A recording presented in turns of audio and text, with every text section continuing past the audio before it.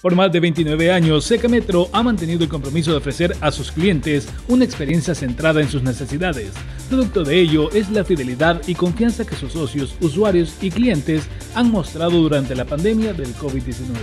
La entrega y dedicación del talento humano que compone a Seca Metro y el esfuerzo tenaz y constante de su administración en conjunto con su junta directiva han permitido alcanzar resultados alentadores tales como crecimiento de la cartera de créditos en 1.38 millones, equivalente a un 3.52% en relación al 2019,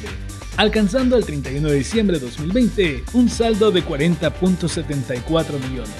Sostenibilidad de la liquidez institucional, eficiente gestión del riesgo,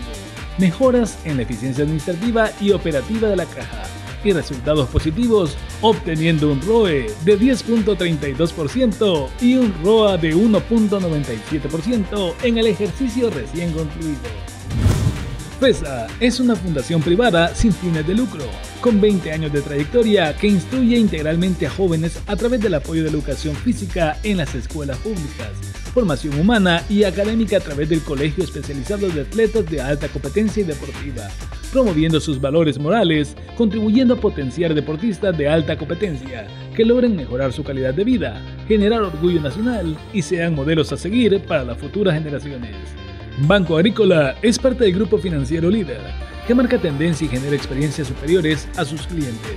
Para ellos, genera servicios que le permiten interactuar y acompañarlos en todo momento y lugar facilitándoles sus transacciones financieras. Actualmente, Banca Móvil cuenta con más de 80.000 usuarios y más de 80% de las transacciones del banco se realizan a través de medios electrónicos.